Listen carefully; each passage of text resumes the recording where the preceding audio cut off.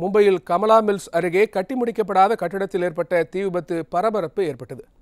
மும்பையில் கமலா மில்ஸ் வளாகத்தில் கடந்த ஆண்டு ஏற்றப்பட்ட ஏற்பட்ட தீ விபத்தில் பதினான்கு பேர் உயிரிழந்தார்கள். நூற்றுக்கும் மேற்பட்டோர் காயமடைந்தார்கள். இதே பகுதியில் தற்போது புதியதாக கட்டப்பட்டு வரும் கட்டடத்தில் தீ விபத்து ஏற்பட்டுள்ளது. அதிகாலையில் ஏற்பட்ட இந்த விபத்திற்கான காரணம் தெரியவில்லை.